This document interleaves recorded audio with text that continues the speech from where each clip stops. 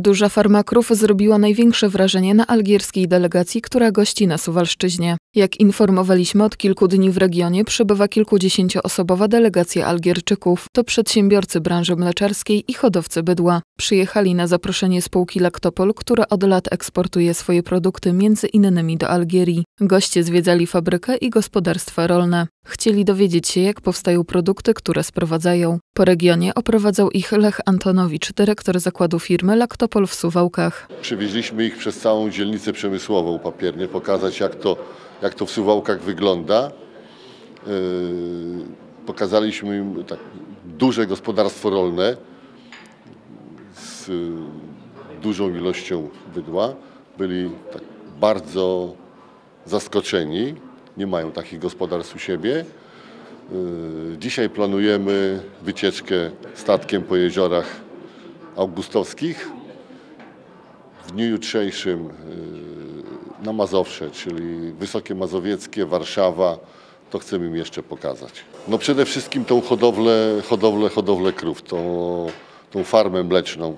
Z chęcią nawet chcieli menadżera z tej farmy zapro, zaproponować mu pracę u siebie. Salah Kashi, jeden z gości nie krył ekscytacji wielkością fabryki Laktopolu i jednej z miejscowych hodowli bydła liczącej ponad 800 krów. Jak mówił, algierskie hodowle liczą od 10 do 20 krów. Eh ben, écoutez, euh, ce que j'ai vu d'abord, c'est l'immensité des installations, de lait notamment, donc euh, chez Lactopole.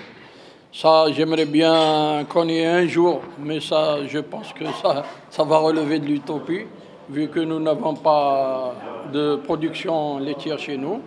Et puis, évidemment, euh, la visite qu'on a faite euh, chez l'éleveur là, avec 860 vaches,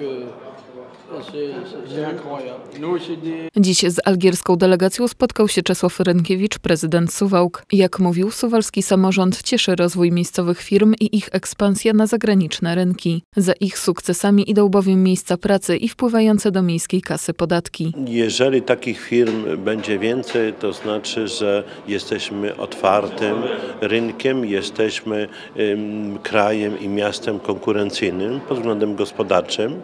Y, To znaczy, że firmy nasze są w stanie konkurować na całym świecie, a wobec tego no, to, co cieszy szczególnie samorząd, to miejsca pracy, to zyski, które uzyskują przedsiębiorcy i lokują tutaj w kolejne inwestycje, ale no, przede wszystkim podatki, które wpływają do kasy miejskiej.